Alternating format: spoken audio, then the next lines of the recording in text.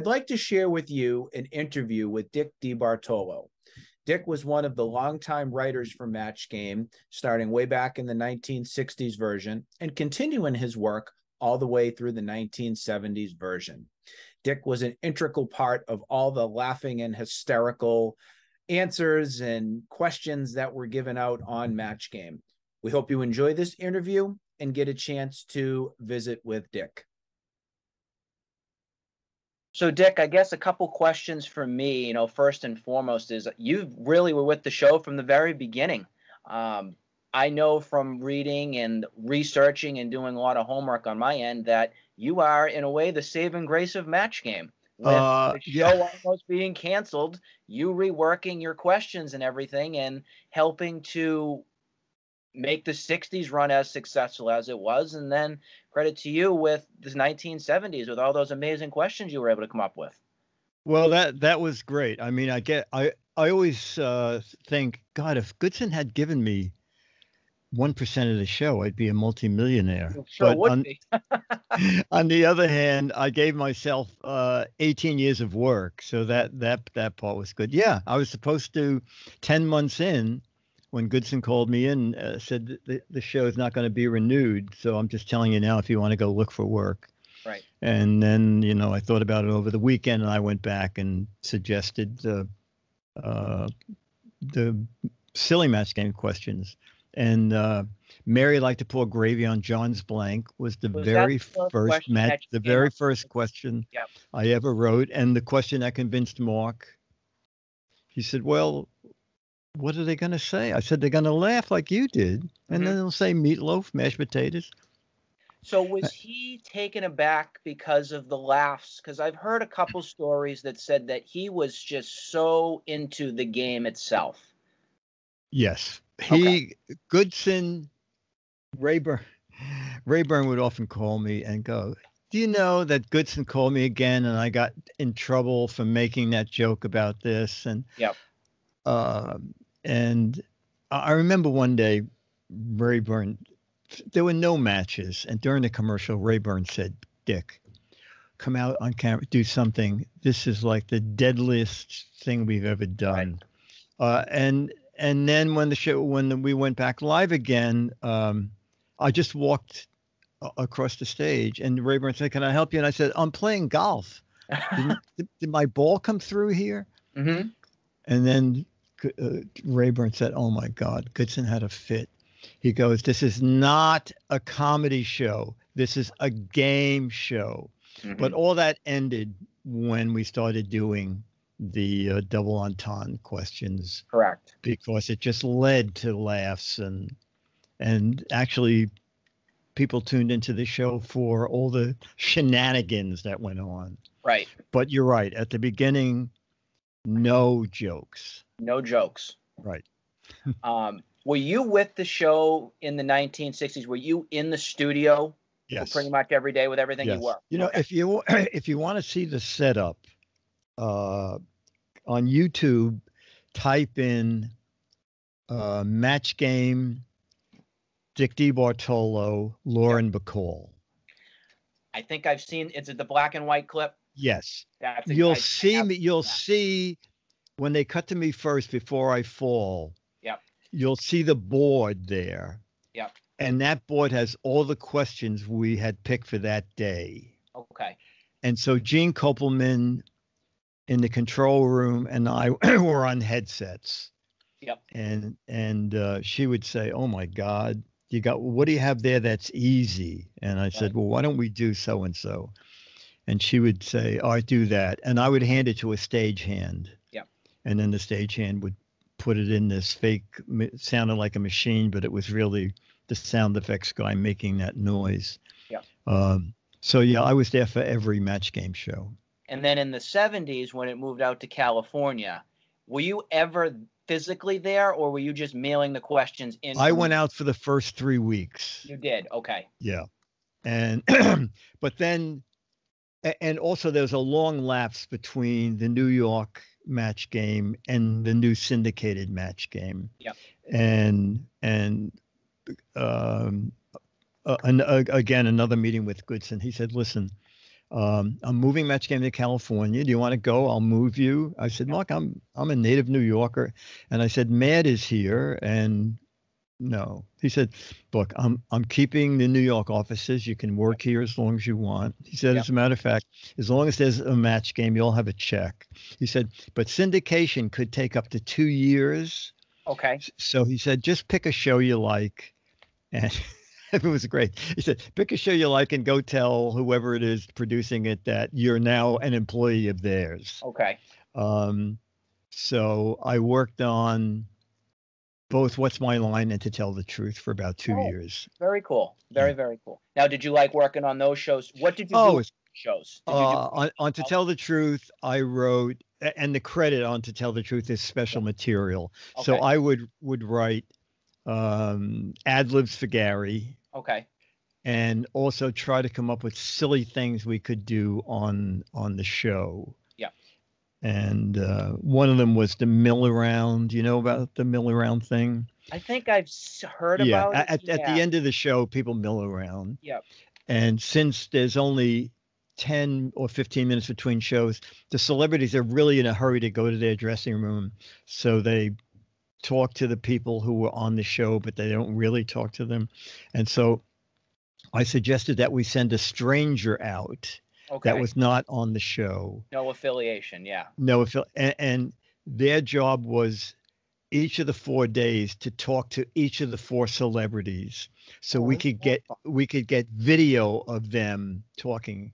And then on Friday, we brought out three people and said, Oh, what a "Panel, cool little idea that was. what a you know." Did it go over? Did it go Oh, over? it was very funny. Yeah, I, and I don't think anybody got it. I think no one picked out the person, but that was the kind of thing I did is to try and just do silly things for the show. And on what's my line? I got um, guests that they wouldn't ordinarily think of. I was big in boating, and I got the boat racing grandma, and um, Yeah, I always just wondered how some of these people with weird occupations or stories would come into the show. It was some had really fascinating stories. It's like, wow, how did we find those people? Well, they they got every conceivable newspaper from across the country to get local stories, and uh, you know, here's a guy that did. Oh, let's get him. Uh, that was like I think there were three people finding guests for that show. So that? yeah, Very, very neat. Sometimes you just never know these little behind the scenes things that, you know, the shows put together and the stories that people can tell about them are, are fascinating. yeah, uh, and also it was fascinating for me to see how people worked like on. I think it was uh, it was Gary's show, so it was to tell the truth, and we had this motorcycle guy who did all these things, and and uh, Gil said, you know, can you get him to ship the motorcycle in? And in a meeting, they said, Gil, we expected that the guy was going to send a picture of like a big monstrous motorcycle. It's like this little thing. What Yep. should we do? It's going to be anticlimactic. And and Gil thought, and he said, "No, we'll have Gary say." All right, so we're going to see this giant machine Mhm. that this guy was able to do all these feats. Roll out that giant machine. Yep. And so he made it like a big thing to build it up in people's minds that it was big. Right. And then there was like, ah, he did it on that little. And I was thinking, what a brilliant thing Yep. it Yep. is to, you know, make people suddenly realize that it was a, a big feat because he did it on such a inefficient or uh, such a tiny little bike. So that was fun uh, working with producers. Now, did you have a good relate? Now, Ira Skutch was involved from. Oh my God, 1960s, yes. Correct. Did you have a very good relationship with him? Great. A- Yeah. And if you um, go to the Directors Guild website, Yep. there's uh, a series of interviews with Ira Skutch. Yep. And the one or two of the last ones, he talks about uh, how the show changed. And he's, he's, he's, I called him up and I said, Ira, thank you so much for giving me credit. He said, and then one day Dick DeBartolo walks in with this question and, and he said, well, don't thank me. You Yeah. saved the show. I'm just telling people. I said, well, it's nice to hear that you uh, talked about it in I think, Uh, the, I think the weirdest thing that, unfortunately, sometimes I think Ira gets a bad rap from just Gene with the judging and everything. And, you know, I think Richard and him had such a tumultuous kind of relationship. Richard, I think, had I think he was like with them public all. enemy number one with Yeah. Ira. uh, well, mainly with Howard Felsher. Howard, too, yeah. Yeah, he wouldn't let Howard in the studio toward the I end. heard, yeah, and I know was it '81 where it, they changed over from him being executive producer or producer, and then it got changed with the daughter-in-law coming in or something like that. There, you know, I don't know that. That was out in in Hollywood, but I know that uh, Richard was Richard and Howard. Oh my God, they uh, just didn't see eye to eye. And then also, Ira and Richard. Richard got really angry when they brought in the celebrity wheel. Yep, that wheel. Yeah, Because I And- think Richard only lasted five. No, it was actually there were three weeks with the old set with the wheel, and then there were five weeks with the new set with the wheel, and you could just tell from those. It, it was like cringeworthy watching those final weeks with him. yeah, He didn't participate. He didn't speak. He gave his answer and nothing. yeah. And, and it. I don't know if it was in person or it might be on those director uh, director's Guild tape. Is Yeah. Ira saying, "Look, Richard, I can see you're terribly unhappy. If you want off the show, it's really easy to let you just go back to feud." Yep. And and Richard left. So I guess the weird question about it, I think a lot of people ask because let's say if this was 2020 and some celebrity on a show just picked up and walked away, it would probably be national news. Uh, you know, everybody would be talking about it. Right. What's weird is if you go back into 78, I think it was August of 78 when he walked off, there was just really nothing. It's like he picked up, did his final show, and that was it. Well, I think the thing was since people knew he was over on feud. Yep. and feud was big. I think people just thought, oh, he just wants to do feud. It was not one of those things where he just vanished. Right. I think if he just vanished, people would say, People "Wha- would be like, where the heck did he go? yeah, exactly. But the So fact that he was still doing, I guess Ira wasn't particularly upset that Richard was done. oh no, uh, no, Gene, I, but I, it seemed like Gene was. Gene was.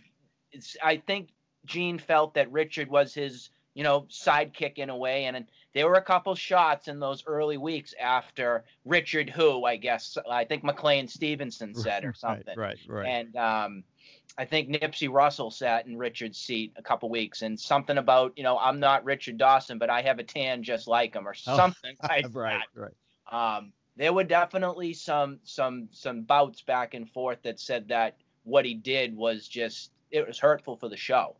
Yeah, yeah. I, I didn't know, I didn't pick up on that, but You think Uh, that most people were pretty happy that he just kind of picked up and left? You know what? I, I think I think the staff was because, as you said, I think it was very apparent Right. to anybody who's a frequent that something really big had changed. right. He went from being zany and nutty Yep. to, as you said, just grunting and holding his thing up instead. You know, he'd only say, "Oh, you know, I."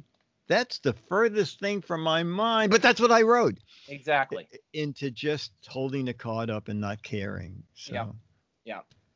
Um, so when the show st- was in the 60s, did you have a particular special moment? I know you talked about the Lauren Bacall moment that was on the show, but did you have something that, you know, really stood out over the time that was like, wow, this is something I'll always remember from, you know, the 60s version? well, this is the thing. You know about the pickle thing? I haven't heard about that. No. Oh, okay. This is something Pam Ustan searched for it. So uh, Bill Cullen was one of the celebrity team captains, and I forget who the other one was.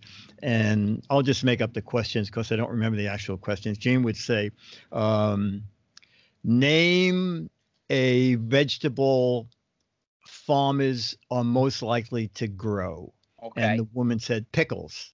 oh. And Rayburn said, did, you hear the question? Yep. And she said, Yeah. Rayburn says, that's your answer, fine. Yeah. Second contestant, name of thing the farmer's got. Pickle. Match. And then the third person, pickle. Yep. So then we go to the other team, and the person says pickle. Yep. And Rayburn says, if you sit to the contestant, if you say pickle, Yep. I'm leaving. Right. They say pickle, Rayburn leaves. So Johnny Olson set basically. walks off. Johnny Olson comes in. Yeah. Johnny Olson said, if you say pickle, I'm leaving. Yep. They say pickle, Johnny Olson leaves. Gene Uh-huh. Coleman says, Dick, go out and take over the show. Yep. So I go out and and I say, I'm not even going to ask a match game question. This is my lifelong dream. I want to dance. Yep. A- And so I would have loved to have a copy of that show. Oh, would I? That, I'm sure people would go nuts over it. That's what I think. The saddest thing is that we just don't have that many memories to, you know, see that see that version, and it was great. I I, I wish people would got a chance to, you know, see it because I think that it would have such a huge following. Yes. And then Bill Cullen, Rayburn comes back, and Bill Yeah. Cullen says, Okay, Gene, here's the deal. Backstage, while we were waiting to come on, I said, How many people want to play a practical joke on Gene? Everybody raised their hand. Yeah. I told them, no matter what the question is, we all say pickle. Yeah. And then he said, Now listen, unless all of us say pickle, this is going to be a disaster. Yep. Everybody in on this? And they Yep. said yes, and they did it. Yep. And so he explained that because Rayburn was befuddled. He didn't Oh, know how could this be. I think the fun, the best thing of just watching him host. I mean, in my opinion, I, I put him up there in top five ever. Oh if my God, he was. the best. Um, I like him better than Barker and Richard and all that. Yeah. I No, love Rayburn his super. camaraderie that he had with the celebrities. You know, he'd go back and forth, and he'd really put the spotlight, you know, not on him, but he'd put the spotlight on on making sure the celebrities felt comfortable and had a good time. The how funny he was. It's it's he was great. There's Yeah. never going to be another Rayburn. Yeah, he, never he was super. You know, he's a disc jockey here in the city. Yep, yep. Yeah. I remember that story, hearing about yeah, that. yeah. He started at what, Rayburn and Finch, I think. Yes, exactly. Very good. Yeah. You know, got got from there, and then just caught lightning in a bottle. Started with his association with Goodson Todman. Um, I think he started as a panelist way back on the names the same. Oh, it could be. Yeah, it could he started there, and then it got to I think a kids show. I think he started with Choose Up Sides or something like that. Oh, okay. Yeah, I don't know his early. Make the Connection was show because I remember seeing Betty White as a panelist on the very Oh, early okay. days of that. Okay. and then um, I think Match Game just was his. It just grew into him. It was no, so no, him. absolutely, absolutely. I think that's why a lot of the versions today, you know, there's Baldwin show. I don't know if you're a fan of it or not, or no. I don't like how. I I've never been a big Baldwin fan myself, but I don't like how the questions that are made they go for that derogatory answer right on the card. I think the fun of the game was to laugh and to giggle and to you know not write down you know Yeah, absolutely. fool, you know all that stuff. Absolutely. No, I only watched the first two episodes of the. Baldwin thing, and I I, like thought, the set, I like the look, but I just don't like the format of it. yeah, no, Uh, it's very different. when the 70s hit, obviously the format changed. Did you have any particular feelings on, all right, we're changing it from the 60s with the celebrity captain and, you know, not as many celebrities obviously on the show to a six-paneled celebrity format and did you have any any any feelings that, you know, maybe this isn't going to work or maybe this is going to be even better than what the 60s was going to be? Well, they they reformatted them themselves. I, I had no no part in that. But when I went out and saw a couple of shows, I thought this is great. You did. Because- Okay. Yeah, oh yeah. Yeah. Well, first of all, they were they wanted California. Goodson said because we can get it's so much easier to get a lot of celebrities. He Yeah, said- yeah. said That was that's one of the what- reasons why they moved. Is that right? E- 'Cause e- ex- celebrities are exactly. Prominent there. Yeah. Yeah. Um, no, I, I thought it was great. I You thought did. it was great. Yeah. And then also, by then, standards and practices, which is now gone again, standards and practices uh, was big, and they didn't want any control over the questions, which is why they came up with that. The two questions come up, and I you see. pick A or B. I see. That way, someone couldn't say give A the one that we think might have more. me-" It was just a crapshoot. Right. So the early weeks of 73 seemed like there was some questions that were still kind of filtered in from the 60s, you know, name a capital of uh, the US or something. Yes, yeah. They they sort of alternated. Did it change? Did did Goodson come to you and say, "Listen, Dick, you know, the questions aren't as great as it could be. The show's not really maybe lighting it on fire." Did he come to you and say, "Hey, we need to kind of revamp, you know, the questions again"? No, He didn't. Okay. no. We they they just. I, I do you actually know the year when we went to all blanks? I think it was about week six or seven because one of the celebrities I think started it with writing boobs on the card. And I guess the buzzer or the judge was like, all right, that flies, that's fine, because there were so many laughs. So it seemed like the envelope was starting to get pushed a little bit more around that phase. Right. Ira has a funny story about that Does because Okay. Ira was in the control room with, back then, someone from Standards and Practices. Oh, really? Okay. And it, it was the first time someone said boobs. Yeah. And I returned to the guy and said, uh, Can this go on the air? Yeah. And the guy turned to his wife, the, Yep. the standard practice guys had brought his wife to the studio. okay. And he said, Dear, she said, uh, boobs is fine. Ira said fine in the mic. Yeah. And boobs became one of the most thing. used answers ever. Yeah. I think that Howard Cosell, that was a big one. The first answers that came. Um, Twiggy, I think that was another response that a lot of celebrities would give on certain cards. Um, did you have a particular special, maybe it was a character, like a dumb Dora or uh, something that you particularly really loved to write questions maybe about?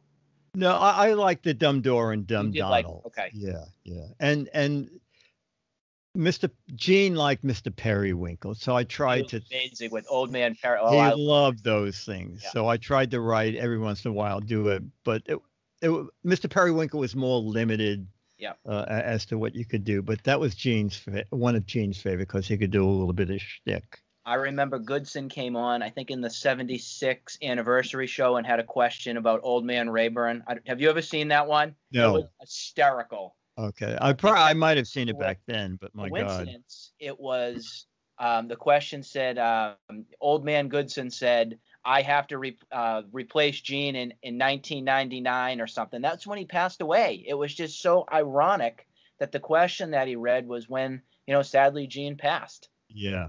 Ge- Gene had a very unhappy ending when they brought That's what the I've show. read and heard about. yeah. Yeah. when they brought the show back with uh, was it Ross that uh, the, the Ross fir- Yeah, Ross yeah hosted it in the in the 90s, which Yeah. I would have loved to have seen Gene. yeah it, that just broke his heart. Yeah. Um, and he used to say to me every every time we had lunch, he said, "Never ever tell anybody your age." Yep. Because when Entertainment Tonight said, "Happy birthday, Gene Rayburn," he's 65. He said, "My phone went dead."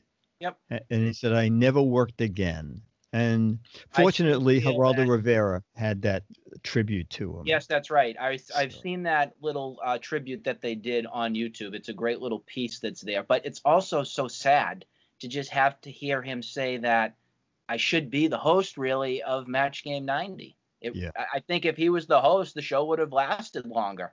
No, I, think really so. do. Yeah, and, and also Rayburn did the uh, the combo thing, right? Match game Hollywood Squares. Have you got a chance to see it on Buzzr?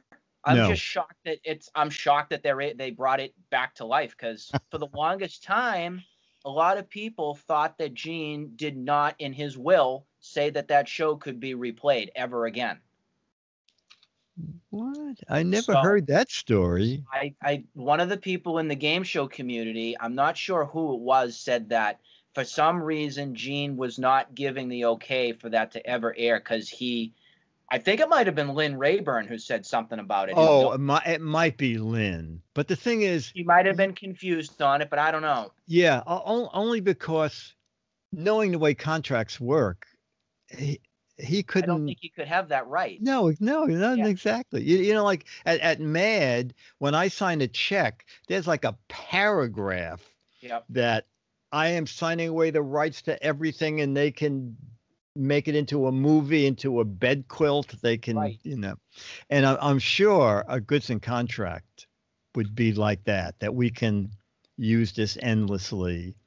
Uh, maybe, maybe there would be a royalty Something on- like but that. Yeah, but not that you can't play it. I, I, I don't. So I was I mean, Lynn may have. Maybe that was Gene's wish. it could have probably been, yeah. Yeah. I know he didn't like that Break the Bank series he did, one of his last game shows he hosted, because um, I think he just hated the format, and I think he was just hosting to host something at that point.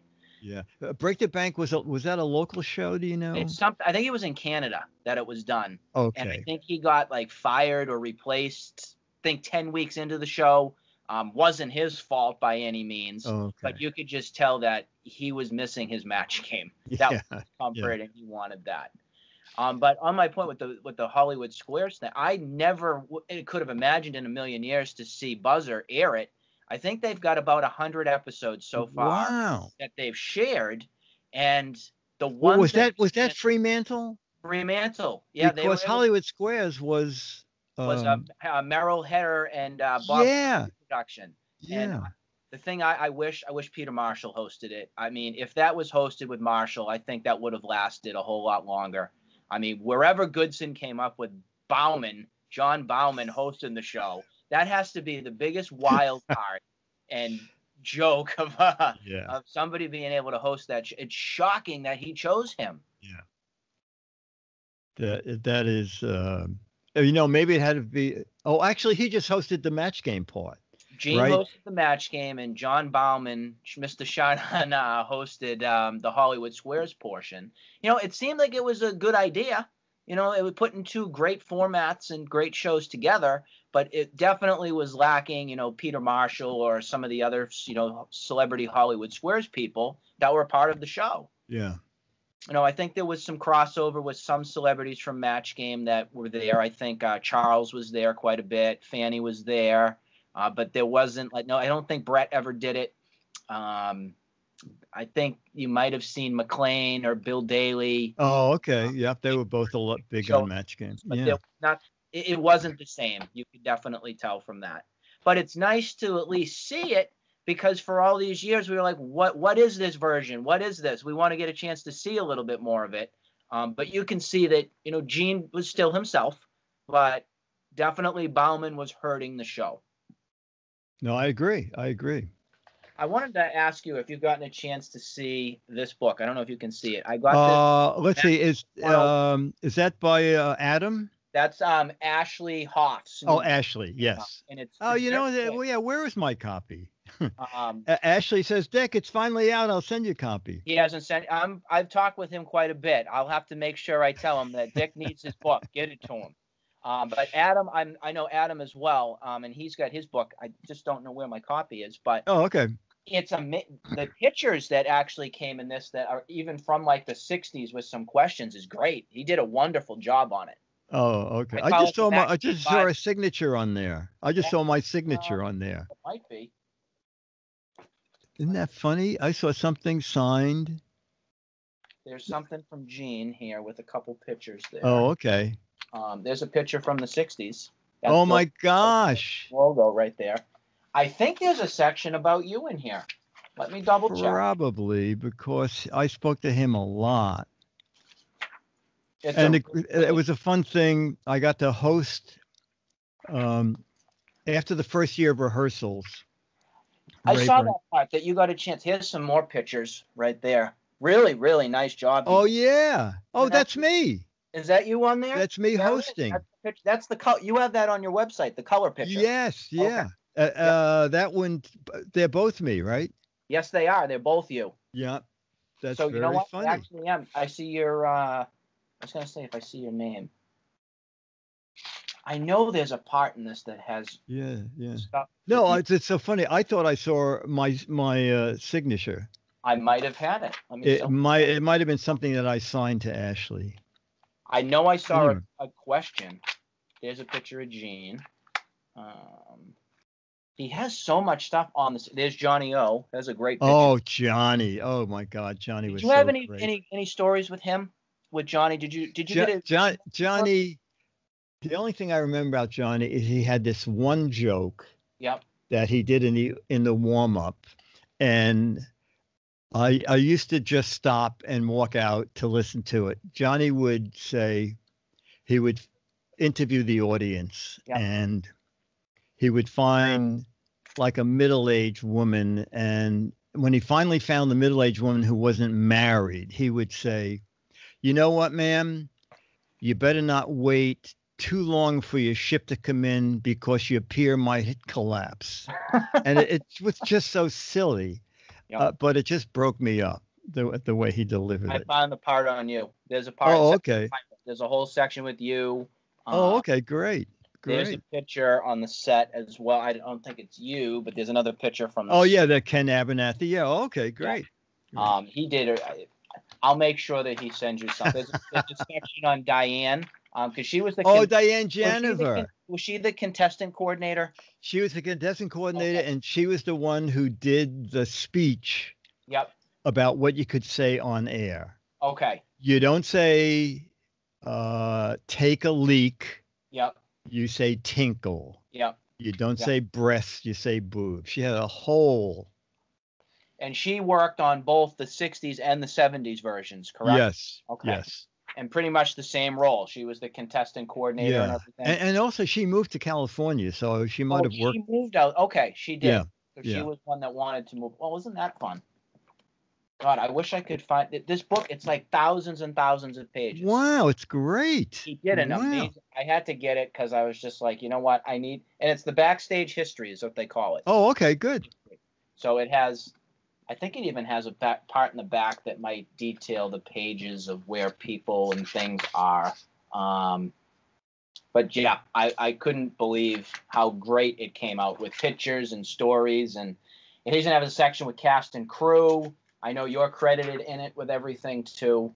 Um, just a wonderful book, wonderful Oh, book. great. That's You get great. it. I'm gonna have Ashley make sure he sends the express mail to you. Oh, and one thing that Ashley misspoke, uh, he was on WGN, uh, Nick Digilio's show. Yep. Uh, that I'm on often is the story of the microphone, the long microphone. Yeah, yeah. I Uh, mean, what a unique- Rayburn, I remember the day when it grew. I don't know if you heard the story about it, and everyone's like, "What is this fairy wand?" yes, yes. Rayburn would during commercials go out into the audience to talk to the people, and the audience loved it. Yeah. And one day Rayburn came back and he said, "Listen, I love interviewing people in the audience, but I can't hear a lot of them. Yeah. Is there some way I can get a separate microphone or something?" And they came up with the Sony. Actually, I, they didn't design it. Sony had They had that special microphone. that that special microphone, right? And they got that for Gene, and so that was uh, just so he could go around the audience and capture voices much further than he could with his lapel mic. the lapel. Yep. So Yeah, I think he wore that lapel for just the very early beginnings in '73, Yes. '73, th- you're right. and then I think it was the final week actually in '73. Finally, it was short, but you could tell it would had the extension. right. And I remember, I think Richard played a joke on Gene during one of the openings, and the thing is like this big sitting on the table, and he's like, "What is this thing?" And That's it just it led to a huge um, laughing fit with everybody. They were just like, "Oh, your fairy wand is now here. What are you gonna Uh, do to us now?" It was funny. Did you have any particular celebrities that you just really kind of fell in love with through working with on the show? Is there Lauren anybody Bacall. that Lauren Bacall was your, the, the number one? Oh, Yeah. Because on that clip, she says, "I'm in love with Dick DeBartolo," and it was like could not love her after that? I mean, right? yes, yes. And like the third time, we used to laugh in the dressing room. And the second and third time we were chatting, I said, Lauren, what do you think? She said, "Cle- Betty. We, my friends call me Betty. Call me Betty. And I always figured, oh my God, Lauren Bacall letting me call her Betty. I thought that that was, uh, to this day, I think that's a, uh, great to be able to say that. And I she know- was, Betty yeah. White was White was wonderful. tremendous. Yep. Yeah. Um, I'm hoping that there's some way I'm able to just talk with her at some point and just about all of her experiences and time on the show. I know she's done a few of these over time, but in a way to just kind of showcase her love of the game here on, you know, the video library that we're calling it, I think would be just absolutely amazing. Um, because she's such an important part of all of this. She really Oh, is. Oh my gosh. I had uh, my first paperback book had just come out, and I was over at Mad and I picked up some copies and I said, Betty, can I give you a copy of my first book ever Yeah. that I wrote for Mad? And she said, Oh, yeah, please. Oh, sign it, sign it. Yep. So, in the introduction to the show, where Rayburn gives the celebrities a chance to talk about what they're doing. He said, So, Betty, what's new with you? She said, Oh, Gene, nothing new with me, but Dick DeBartolo, the writer who writes the questions, wrote this book. Yep. Well, after the show, uh, Gene Coleman said in my headset, she said, Dick, don't leave the studio. There's some kind of trouble with uh, what Betty said and you and standards and practices. Uh oh. So uh, the suits came in. Yeah. Did you pay Betty?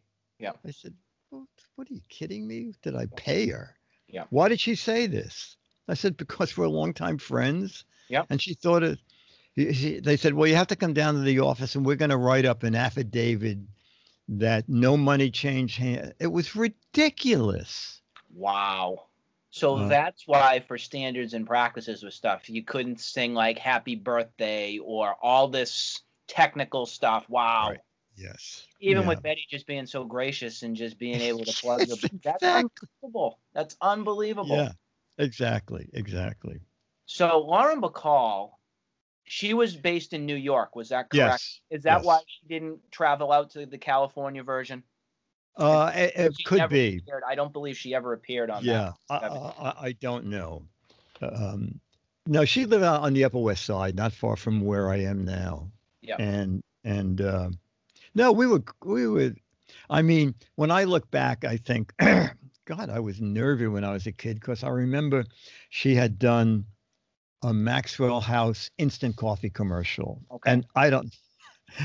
Uh, I I said, Lauren, an instant coffee commercial isn't that weird for a person of your stature? She said, Let me tell you why I did that.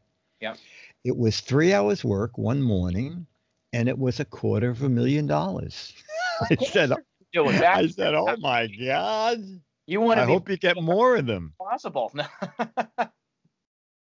um, when um the show ended in the in the eighties, you transitioned. You went over and did um a little bit of writing on the Hollywood Squares version, correct? No. No, No, Hollywood, okay. Hollywood Squares is, had nothing to do with Goodson Todman. I meant the match game Hollywood Squares Hour. Excuse me. Oh, oh, I'm sorry. Uh, it was just, it was, that. yeah, Sometimes it's Uh, confusing with. yeah. with Uh, yes, I, I- just wrote all the way through. you did, and you uh, did the '90s version as well too. I did, yeah. Goodson, uh, actually, good. They were very generous to me up at Goodson Todman. I mean, I didn't, didn't get a percentage of the show, but I had a corner office in the Seagram building, Yep. which was really amazing. And you know, he, he when when the show moved, he I told you early, he said, as long as there's a match game, you'll get a paycheck. be. Yeah, and and You, can tell that he was a man of his word. yeah, Really? no, absolutely, absolutely, absolutely. Um, You said that you helped a little bit on um, Family Feud. Um, what kinds of writing did you do on that show or on? Family Feud, writing those uh, uh, situate those questions and tattletales. oh, you did Tattle. Okay, Yeah, Yep. Uh, that must interesting. have fun too. Tattletales is fun. Uh, the the uh, makeup room with Jayne Meadows, and I said, Jane, you and Steve have never. She said, Oh my God. She said, one day I had a dream. I was in a burning building. And I told Steve about it, and Steve said, "I had a dream that you were in a burning building, and I ran in and saved you." So I said, your, your, "Even your dreams complete each other." Yep. Uh, yeah, and but the people who never matched was Dr. Brothers and her husband. You would think that. Uh, Doctor of her status. is yes, like- exactly. They would be t- so uh, so in tune with each other. Yeah. Um, Um, did you ever have a relationship with Bert Convy? Um, No, you're- no, I just knew I just knew Bert from walking into the studio and saying hi, and and Yeah. we didn't chat much.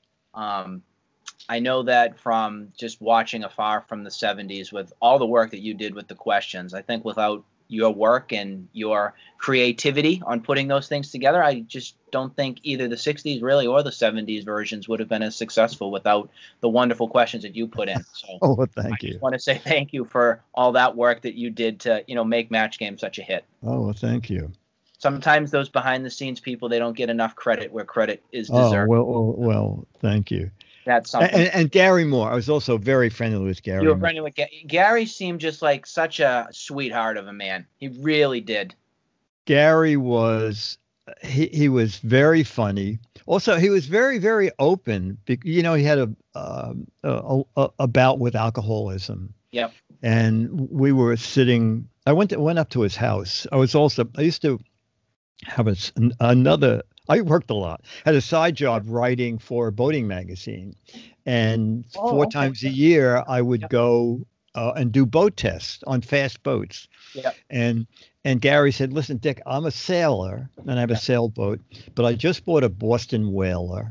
Yep. And is there any chance you'd co- come up to Maine over the weekend, stay at my house? Yep. And would you take me out on the whaler and Yep. put it through its paces as Yep. to what it can do?" I So I know what to do with it. Yeah. thought- so I did all that, and And I guess the boat didn't sink. no, Garry said, "My God, Dick," he said, "I was terrified on some of those turns and jumping wakes." He said, "But I'm thrilled to know this is a seaworthy boat, and I don't have to worry about uh, getting uh, caught in, in any waves." But anyway, he told me how we got hooked on on drinking. He said, "You know, I used to do the Garry Moore show, and he said we had the time of our lives on that show." And he said, and the ratings started going up and Yeah. up and up, and suddenly it was number one. And then suddenly CBS was saying, "You got to keep this number one. You got to keep." And and he said, suddenly, from it being a laugh, fun thing, we were like going crazy. What can we do? What can we do? And he said that was the beginning of my drinking. Yep. And he said the thing is, uh, and once Let once I heard David Letterman said that his show was number one in nighttime, and he said that's the worst possible thing that can happen Mhm. is for you to be number one because the only way now is down. Yep. Uh, Yeah, the and pressure of being at that one spot. I mean, you can't go any higher than one. no, no, You have to exactly. Continue And- to keep that audience, Yeah. which is and that's where we have uh, uh, a network pushing you to Yep. stay there. Yep. Uh, it's not a good thing. Yeah. Were you surprised when the ver- when Match Game from you know the 70s was was on its downward spin when it started to you know you heard you know rumblings of it being canceled with everything. Did you think it should have been on longer? Well, the biggest, the one time in New York City, actually, the network killed it by Yeah. moving it from 4 p.m. Right. to 11 in the morning. Yep. Because we knew our biggest, just from the mail, our biggest audience was kids coming home from high school or Yep. college. Yep. Yep. And at 11 in the morning, they're not going to see it. Oh, they're in and their that was class. They were there Yeah. at school. They can't Yeah. see it. and that was a huge drop in the ratings, which they I think they blamed the show, but Was Silverman the one in charge with that? uh, Fred Silverman, you know, Yeah. I'm not I'm not sure. I I'm remember sure. on the because I've seen the Behind the Blanks documentary, and I think no, it was Mike Ogiens. Oh, Mike okay, Ogiens. okay. I think he was the one that was responsible for that move.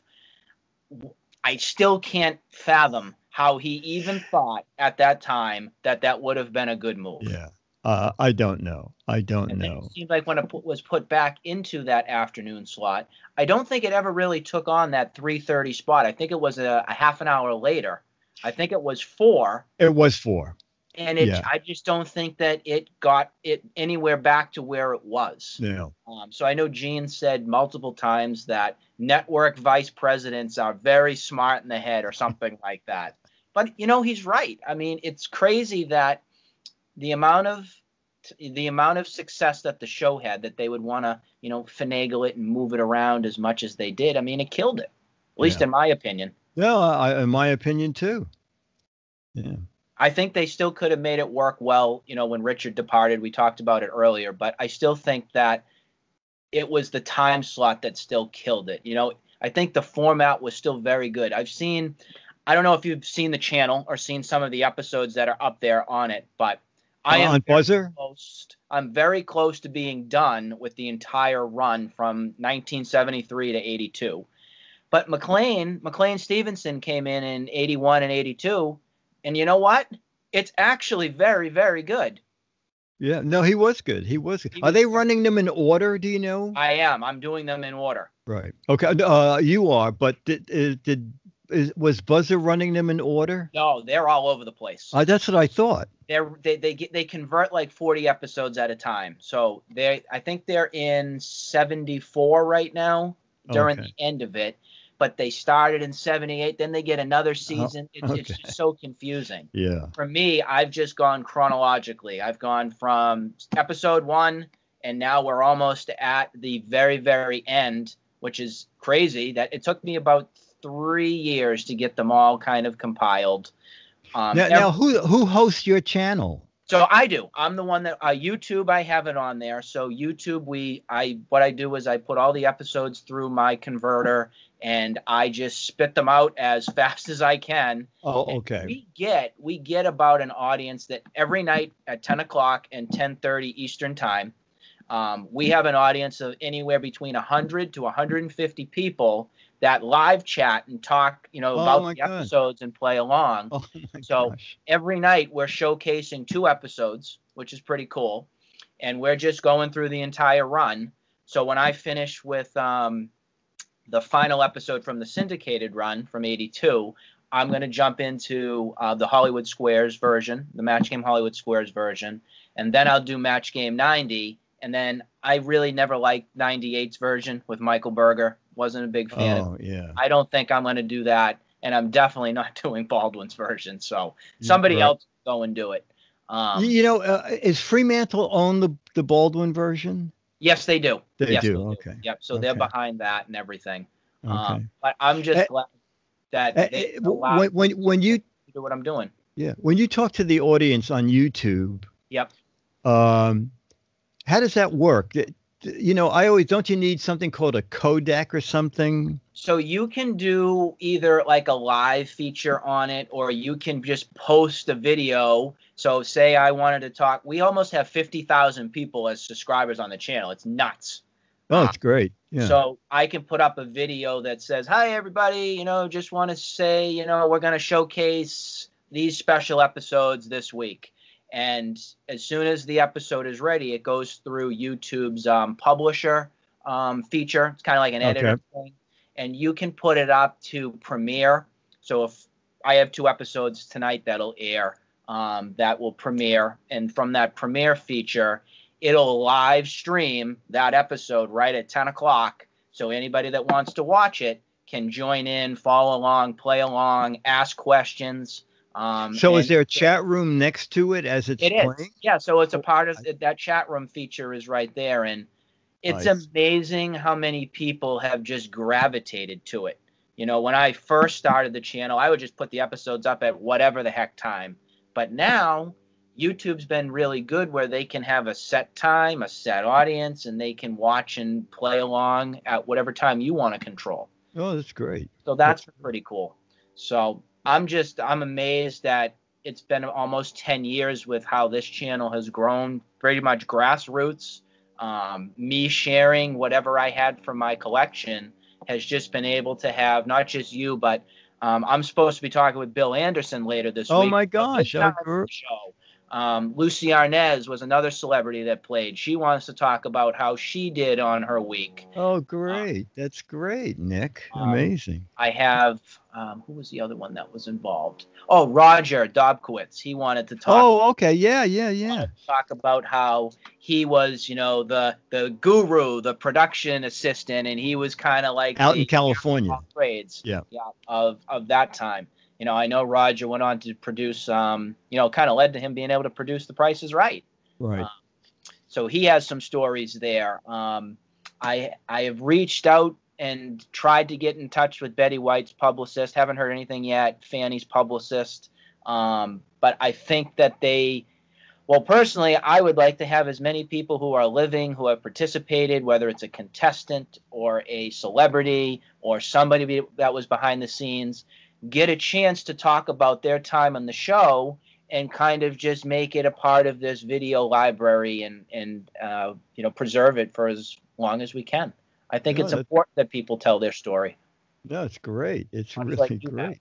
Well, I'm beyond appreciative, Dick, of you taking the time today of just talking about everything. No um, problem. I think it's um, I think it was absolutely wonderful to hear your stories and time and I know for me, I, I truly appreciate all the questions and things that you have um, been able to make the show such a hit with. Well, thank you. That, that is super.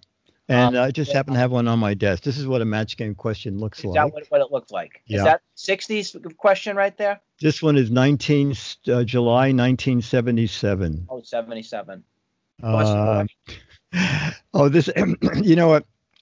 We when we had standards and practices, we would write questions that yep. we knew would never get on. Oh, you did? Okay. To make the other yep. ones yep. look tame. So this one I know would have never gotten on.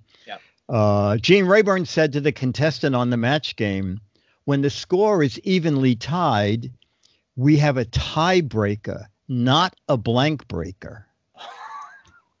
so yeah, I don't think they would have allowed that one to go five. No. You're 100% right on that. No, no. Although you have time for one more? Sure, of course. I wrote this for Match Game PM because we were told the questions could be a little more out there.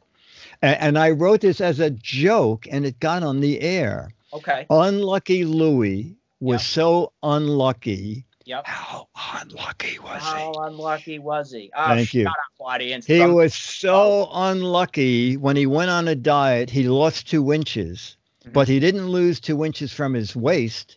He lost it from his blank. And that got on the air. And they said that from happens to be is that the episode where Marcia Wallace said genitalia? Oh, you know, I'm not sure. It could be. I, am gonna have to be. share it with you because it's up. It was censored, um, but I think it. I oh, think that might right. be it. It is that one. Yeah, that, that one is one of the funniest ones ever. I, they were in hysterics. Yeah. But so. you're right. With the PM version, um, you could definitely push the envelope a little absolutely, bit. Absolutely. Absolutely. And I think that that's what made that one. A lot of people identify Match Game PM as the one they like the most because it pushed that envelope a little yeah. bit. So um, do you put an episode up every night? Every night. Oh every oh night. God. Yep. So we're very, I can't believe we're very close. So we're doing two right now. From the popularity, it was one, but now because everybody just gravitates to it and wants to watch more, two episodes a night go up. Wow. Oh, I'll stop over there one night. Yeah, I think if, there's a chat feature, and if you do have a obviously you can chat in and just talk to the audience and say hi, okay, everybody. Very, I think they okay. get a huge kick out of it. Okay, very good. Very good. I know I'm a, a subscriber and a follower of your YouTube channel, and uh, I love your content that you put out as well too. Well, thank you. Well, Dick, I just want to say thank. I can't believe it's been an hour of us. Uh, oh, I know, I know. But that was absolutely. That was just something you can use on your channel. Oh yeah, oh yeah. yeah. We can okay, share cool. it and make sure people get a chance to see it, so long as that's okay with you. Of oh course. yeah, that's fine. We'll That's probably good. edit it up and do something cool with something match game in it, and um, I think that people will love it. I really do. and I just want to mention one other thing. Do you know about the Marc, um, the, the director, Marc Breslow? Marc Breslow, yes. You know about the videos that he did in the control room? Yes. Oh, okay, good. We actually okay. have an episode on the channel with his director's cut. That's what I'm talking about. We do. Because from, um, somebody recently uh, sent me an email saying – was that pre-recorded at the opening? Because back then how could they change so fast? And i said no it was done live. Yeah. And i referred him to the to those so tapes. episode it was episode if you type into youtube it's episode 14 14 16 from 79 is up there in two versions. It's up there with just the regular you know broadcasted version but then the director's cut is up there. Perfect. What i did because the um the, the version with the director's cut, the video is kind of, you know, not that great. It's kind of grainy. At least the first segment of the show, I was able to use the broadcasted version and wow. made it the video. So I edited it up to make it look really nice. Wow. So, so all these technical things that you can do is pretty fascinating. No, it's great. It's just, it's, it's, just, you know, it's so funny because uh, I do um, World News Now on ABC once a yep. month, and I do yep. it from here. Yeah, isn't it? Isn't it amazing? It's astounding.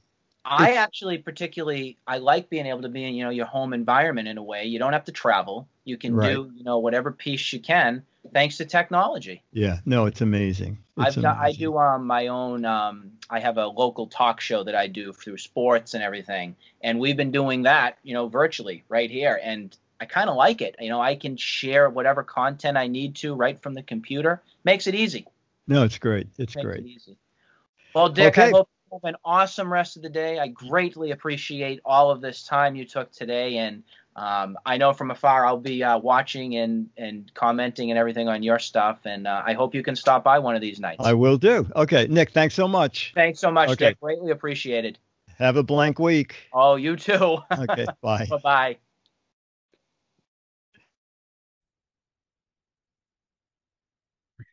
Just want to thank Dick DeBartolo for taking the time to talk with me and giving a little bit more information on the history of everything that went on behind the scenes and with his work on Match Game. So thank you, Dick, and we hope you all enjoyed that interview.